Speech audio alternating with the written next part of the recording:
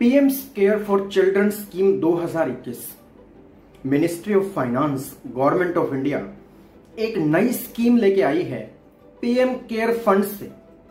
PM care for children scheme 2021 corona महामारी के दौरान, अगर किसी बच्चे ने जिसकी आयु 18 साल से कम उम्र की है और इस बच्चे ने 11 मार्च 2020 से लेकर 31 दिसंबर 2021 के बीच में अपने दोनों माँ बाप को खो दिया है।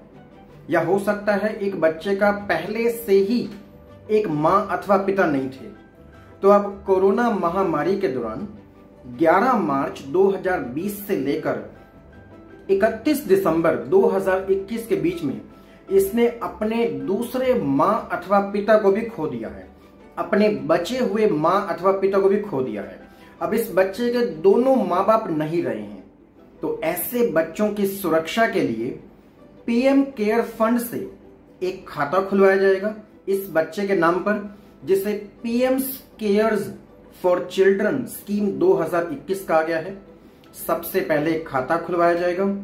उस खाता खुलने के एक महीने के अंदर अंदर पीएम केयर फंड से एक धनराशि, एक वन टाइम लंपसम कंट्रीब्यूशन इस बच्चे के खाते में डाला जाएगा और यह स्कीम एक्टिवेट हो जाएगी। जब यह बच्चा 18 साल की अपनी उम्र पूरी कर लेगा तो इस बच्चे के खाते में एक 10 लाख रुपए का कॉर्पस तैयार होगा।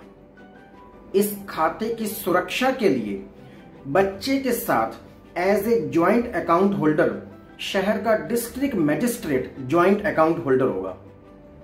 PM care for children scheme 2021 के इफ़ेक्टिव इंप्लीमेंटेशन के लिए बेनिफिशियरीज को आइडेंटिफाई करने के लिए, इस स्कीम की ओवरऑल गवर्नेंस एडमिनिस्ट्रेशन के लिए ministry of women and child development को एक नोडल ऑफ़िस बनाया गया है।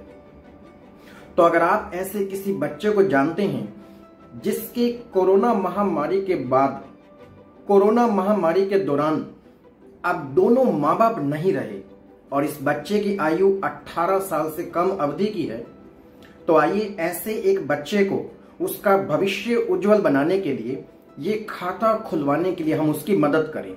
उसको जागरूक बनाएँ, उसकी मदद करें। ये खाता काम कैसे करेगा? मैं आपको एक उदाहरण देता हूँ। मान लीजिए एक बच्चे की आयु आज केवल चार साल की है। अभी इसे 18 साल पूरा करने में 14 साल बाकी हैं। तो इस पीएम केयर फंड से आज एक कैलकुलेशन के आधार पर तीन लाख छप्पन हज़ार रुपए पीएम केयर फंड से एक वन टाइम कंट्रीब्यूशन इस बच्चे के खाते में डाला जाएगा। जब यह बच्चा 18 साल पूरा करेगा तो इसके खाते में 10 लाख रुपए बन चुके होंगे। 18 साल पूरे करते ही अब यह बच्चा इस अकाउंट को इंडिपेंडेंटली ऑपरेट कर सकता है नंबर वन नंबर टू अठारहवें साल से इस स्कीम पर, इस 10 लाख रुपए पर उसे मंथली बेसिस पर ब्याज मिलेगा। और जब यह बच्चा, ये ब्याज कब तक मिलेगा? जब तक यह बच्चा अपने जीवन के 23 साल पूरे नहीं करता। 23 साल पूरे करने पर इस खाते में जो भी धनराशि खड़ी होगी, वो इस बच्चे को दे दी जाएगी और ये स्कीम यहाँ पे बंद हो जाएगी।